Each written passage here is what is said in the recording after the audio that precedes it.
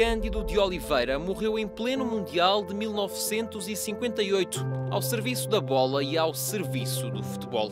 O fundador do jornal foi um dos enviados especiais à Suécia, juntamente com Ribeiro dos Reis. O dinheiro era escasso e a viagem foi feita de carro. Ribeiro dos Reis fez-se acompanhar pela filha, mas Cândido de Oliveira seguiu sozinho. Ao passar por Paris, foi apanhado no meio de uma manifestação popular. O resto do percurso foi feito de avião, mas Cândido de Oliveira não pôde levar para o frio da Suécia toda a roupa que levou na bagagem e apanhou uma pneumonia que viria a ser fatal. Morreu no hospital em Estocolmo aos 61 anos, no dia 23 de junho de 1958. À época, a bola era publicada às segundas, quintas e domingos, e a morte de Cândido de Oliveira só foi notícia três dias depois.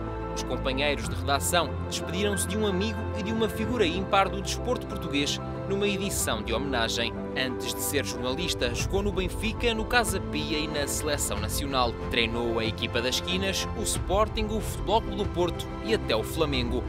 Rebelou-se contra a ditadura e esteve preso no campo de concentração do Tarrafal, em Cabo Verde.